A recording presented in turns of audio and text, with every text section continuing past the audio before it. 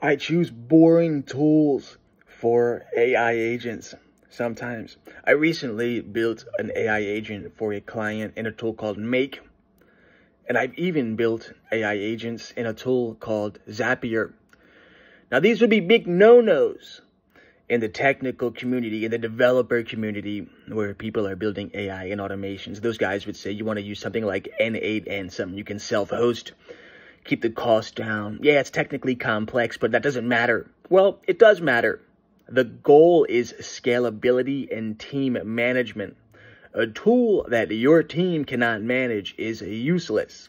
We've discussed AI agents require ongoing management and maintenance, just like a virtual assistant. You can have a real hard time trying to outsource an AI agent multiple levels down in your organization when they are built in a techie tool like N8N.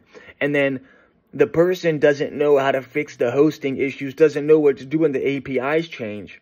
And you now have to go multiple links up to find a fix, and it's going to hold your whole organization up for weeks at a time. That's what I tell these guys when they're like, I use N8N, everything in N8N. Okay, we build teams, we scale companies, we impact.